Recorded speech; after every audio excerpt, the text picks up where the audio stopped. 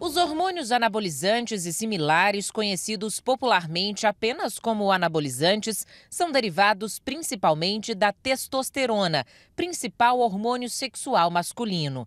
No homem, ele atua na formação dos ossos e dos músculos, no crescimento dos pelos e dos tecidos reprodutores. Ele também está presente nas mulheres, mas em uma quantidade muito inferior.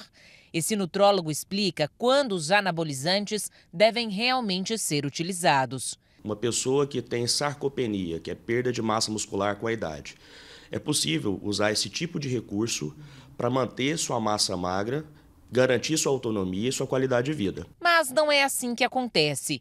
Os anabolizantes encontrados em forma de comprimidos ou injetáveis são usados por homens e mulheres que desejam ter um corpo musculoso de forma mais rápida. O que é muito comum, principalmente nas academias, é o uso empírico, ou seja, através da experimentação de outros usuários, ele replica essa forma de uso para outras pessoas, sem nenhum respaldo ou acompanhamento médico. O nutrólogo explica onde e como os anabolizantes legais devem ser adquiridos. O anabolizante ele deve ser comprado na farmácia ou manipulado. Para comprar qualquer tipo de hormônio é necessário receita médica.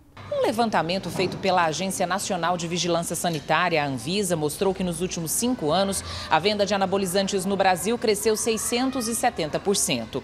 Desde o ano passado, a venda destes produtos para fins estéticos está proibida no país pelo Conselho Federal de Medicina. Para conseguir os anabolizantes de forma rápida e sem receita médica, para fins estéticos, muitas pessoas compram de forma clandestina, até mesmo pela internet.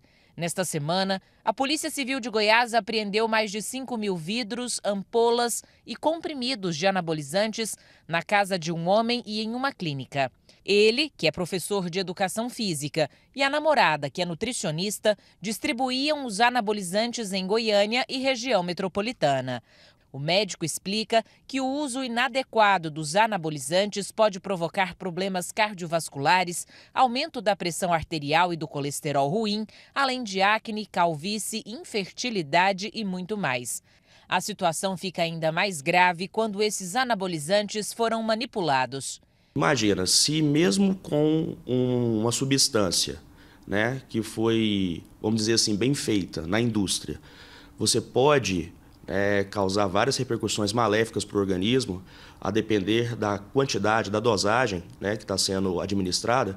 Imagina uma substância usada de maneira indiscriminada e ainda adulterada.